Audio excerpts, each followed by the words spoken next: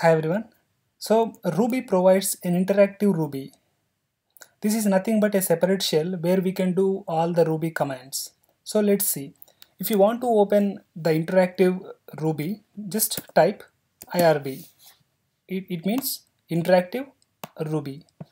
Then you will get a new shell. Here you can do commands like puts hello world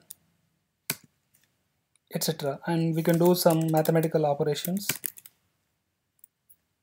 And we can also define some function. Maybe let me define test function. And inside this text function let me uh, print out something. This is a test function. And every function we should end with the keyword end.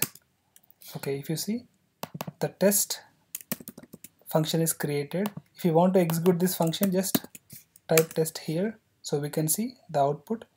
This is a test function. So this is how we can we can work on the interactive ruby. So we can do all the basic operators and we can also check some conditions like if